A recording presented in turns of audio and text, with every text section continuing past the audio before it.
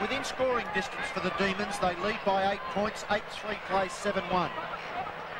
Flanagan tries to take clean possession. Oh, Lyon gets the hand pass to Bailey, who ducked the tackle and takes it high and gets the free. Don't come about that. He slipped right underneath the tackle as he lost his footing. And you can see the Geelong defender's displeasure with the decision. Well, we missed the actual infringement, but uh, the Geelong players certainly let their feelings be known. And the kick by Bailey is good. He gets his first goal, and he's had about 20 possessions. This is a fair day's work in anybody's language. One thing I must say for this young umpire, he doesn't mind giving free kicks in front of goal. He's not afraid to do that. I don't know whether they're always the right decision, but he doesn't mind giving them. Are you saying you'd like to be out there again? Here it is again. Uh,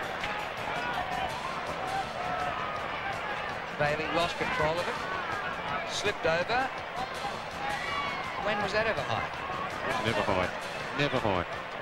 No wonder they're upset. Flanagan gets it down to Exel. Can't break away. Muse backs him up. Gets the hand pass away. Troy. A flip on. Flower. Bailey. This will cap off a game. Over the top. Williams kicks a goal. 17th goal to Melbourne. Third goal to David Williams. And unselfish play by Bret Bailey. And surely that must be the nail in the coffin for the Cats. Yes, that's a sealer for sure. 35 points of difference now.